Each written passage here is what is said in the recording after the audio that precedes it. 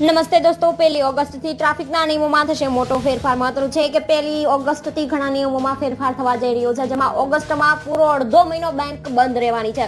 ત્યારબાદ bank of બરોડાએ check દ્વારા પેમેન્ટનો નિયમ પણ બદલી દીધો છે. જો તમારું એકાઉન્ટ બેંક ઓફ બરોડામાં છે, તો આ નિયમ તમારા માટે જાણવો ખૂબ જ જરૂરી છે. સાથે સાથે એલપીજી ગેસ સિલિન્ડર અને ગાડીના ભાવમાં પણ સસ્તા મોંઘા થવા ઉપર મોટું અપડેટ આવી રહ્યું છે. એ ઉપરાંત પ્રધાનમંત્રી પાક વીમા યોજનાનું સૌથી મોટું અપડેટ આવી રહ્યું છે કે આ યોજના છે બંધ થવા જઈ રહી છે. એટલે વાત કરીશું કે પહેલી ઓગસ્ટથી ઘણા નિયમોમાં ફેરફાર થવા જઈ રહ્યો છે, જેમાં સામાન્ય જનતાના કિસ્સા ઉપર ભારે અસર પડવાની છે. આઈટીઆરથી લઈને ક્રેડિટ કાર્ડ સુધી તમામ અસરો આપણે આ વિડીયોમાં જોશું. એટલે વીડિયો છેલ્લે સુધી જરૂરથી જોજો. સૌથી પહેલા વાત કરીએ મિત્રો કે તમને જણાવી દઈએ કે આ વખતે ઓગસ્ટ મહિનામાં બેંકમાં ઘણી બધી રજાઓ છે. આ ઓગસ્ટ મહિનામાં બેંક પૂરી અડધો મહિનો બંધ રહેવાની છે એટલે તમારું બેંકનું કામ હોય એ જલ્દીથી જલ્દી પતાવી દેજો. આ ઓગસ્ટમાં રક્ષાબંધન, મોહરમ અને એવા બીજા ઘણા તહેવારો છે જેને લઈને રાજ્યમાં કુલ ચૌદ દિવસ સુધી બેંક છે એ બંધ રહેવાની છે.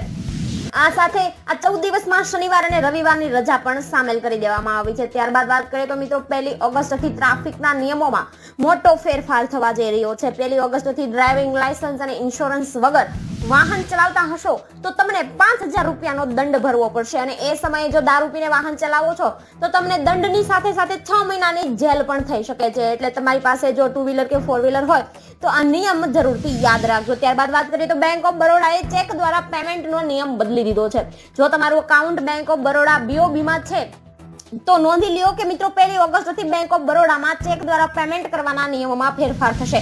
આરબીઆઈએ બેંક ઓફ બરોડાને ગાઈડલાઈન જારી કરી હતી કે માર્ગદર્શિકા મુજબ રૂપિયા પાંચ લાખ કે એથી વધુની રકમ ચેક માટે પોઝિટિવ પે સિસ્ટમ લાગુ કરવામાં આવે.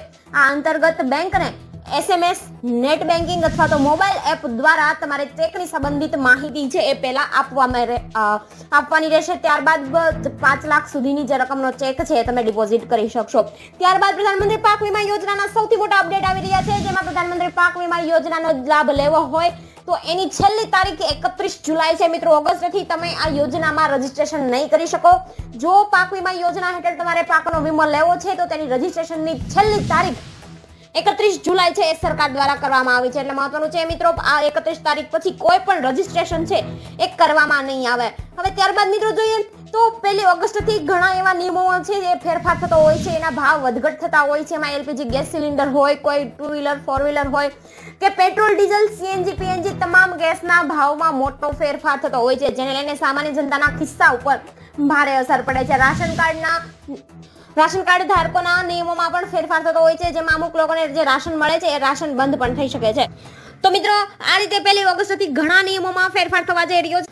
આની વધુ માહિતી આના આગળના વિડીયોમાં ડિટેલમાં મેં આપી છે, એટલે એ જરૂરથી જોઈ લેજો, જેમાં તમને ખ્યાલ આવી જશે કે જે વધારે નિયમો છે, કે જે ITR credit card, ration card, જેમાં મહિલાઓને ચાલીસ લાખ મહિલાઓને ફ્રી મોબાઈલ મળશે, આ તમામ માહિતી મેં એ વિડીયોમાં આપી છે, એટલે વીડિયો જરૂરથી જોઈ લેજો. ત્યાં સુધી જય હિન્દ, વંદે માતરમ.